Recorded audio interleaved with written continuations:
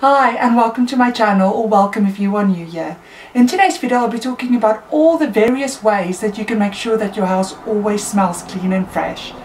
I once heard a saying that said that every home has a scent so it might as well be a good one. I'll be going over all the different ways that I use to make sure that my house always smells clean. Now whether you prefer fresh laundry scents or lean more towards sort of essential oils, there will be something in this video for you. With all that said, let's jump straight into the video.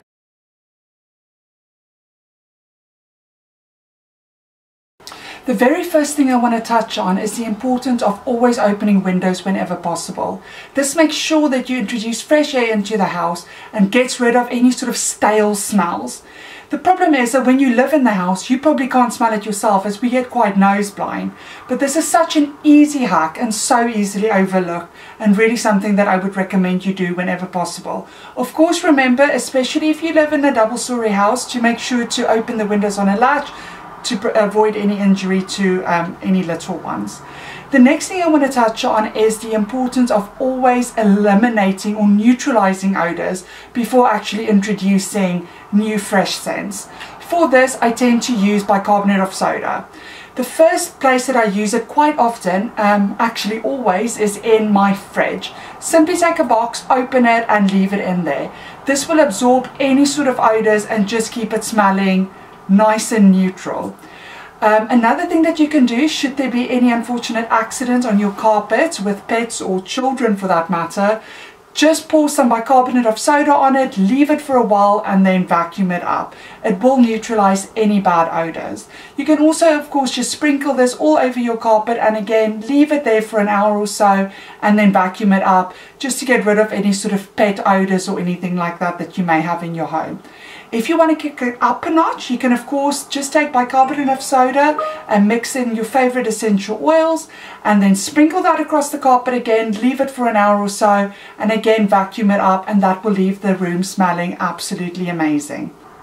If you're not one for any DIYs, you can of course just buy something like a Shake n' Vac um, and just sprinkle that on the carpet and vacuum it up. It'll pretty much do the same job or alternatively you can buy like a carpet foam freshener. I, I use that quite a lot and I would recommend that as well which you basically just spray on the carpet once you vacuumed and it leaves a lovely scent in the room as well if you're someone that prefers scents around sort of the smell of fresh laundry, then a little thing that I always do whenever I empty my vacuum cleaner is just to sprinkle a couple of the scent boosters, any brand will do, onto the carpet and I vacuum that up.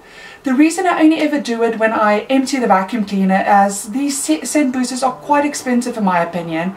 So I do this um, once a vacuum cleaner has been emptied because it'll stay in there for quite a while and every time that you turn on the vacuum cleaner the scent boosters will heat up and release this lovely fresh laundry scent throughout the house. Really something to maybe give a try if you haven't done that already. Sticking with the fresh laundry type of scent, what you can also do using the scent boosters again is just put it in a spray bottle, mix it with some warm water, um, shake it up until it's completely dissolved and you can spray that all over your bedding, your curtains, any material furniture and that also smells absolutely amazing.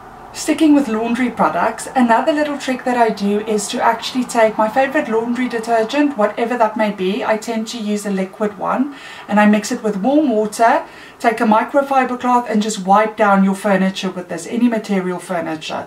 Not only does it leave the furniture smelling so fresh, it will also take um, off any sort of minor marks that's caused by well in my case mainly my kids to be honest but it will get rid of all of that as well just going back to room sprays, if you didn't want to use the scent boosters mixed with the water, you can of course just pop to a shop and buy any one of various different brands. Here's a couple that I have. I have one from um, Astonish, that's in Cotton Fresh, and I have some from Fabulosa, and I have this peony one, which I actually really like, and it's very affordable.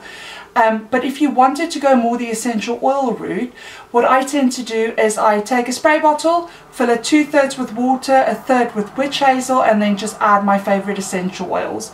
With the brand of essential oil that I use, I tend to use about 30 drops Um, I'm absolutely obsessed with lavender and eucalyptus at the moment. So what I do is I do about 20 drops of lavender and 10 drops of eucalyptus, shake that up. The witch hazel will sort of make sure that the oil and the water mixes. Um, and I spray that everywhere as well, all over the furniture. And I really quite like using this mixture as sort of a pillow spray. You can of course just buy a pillow spray again, but I tend to use this one quite a lot. Another quick little trick that I would recommend is to take your favorite essential oil and put it inside the toilet roll um, in the bathroom.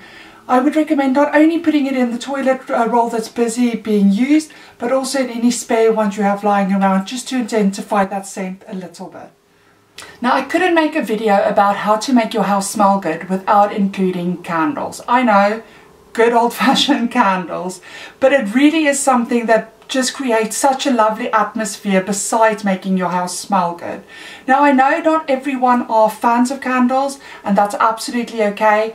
I myself tend to use them more during the sort of autumn winter months and maybe sometimes in the evenings during the summer but if for whatever reason you don't want to use candles in your home there's always the option of using wax melts. Now I'm sure you're aware but you can get ones that work with tea lights or you can obviously opt for the electric ones which is the one that I tend to use more often in my own home. You can literally get wax melts for every occasion, every season you get ones um, that are more sort of spring scented summer winter autumn or there's those more neutral scents like linen fresh. But there's definitely something for everyone out there and they can be quite affordable as well. Now if wax melt isn't for you then I would definitely recommend investing in a diffuser. I personally lean more towards using my diffuser during the spring summer months and I use them upstairs all year round as part of our bedtime routine actually.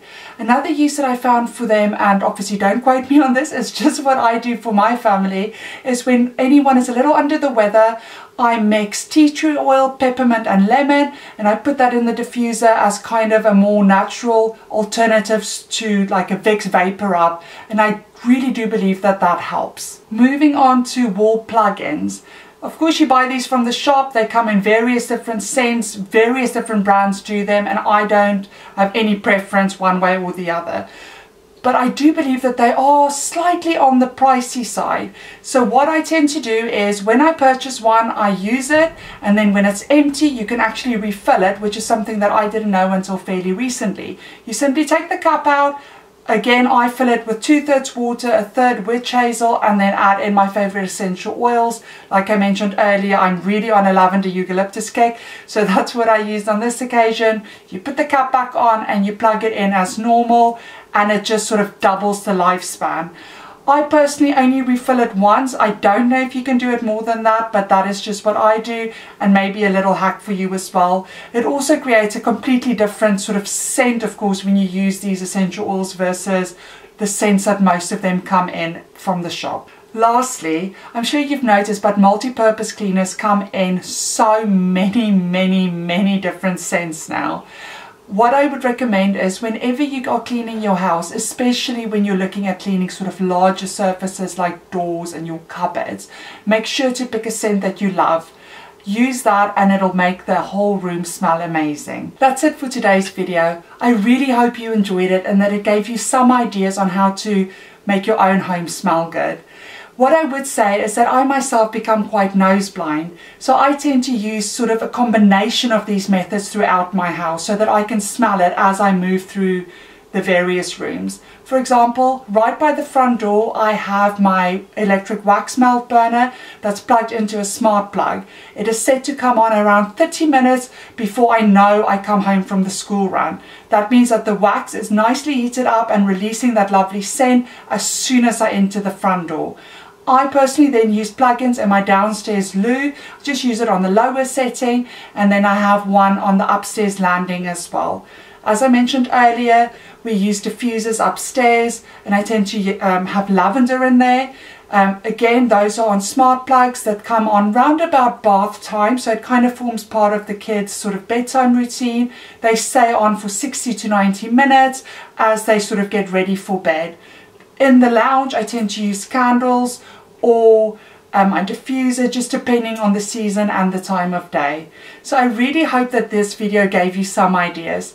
If you liked it, please hit the like button below. It really does help my channel out so much. And if you don't want to miss another upload, please hit the subscribe button as well. I hope to see you in my next one. Bye!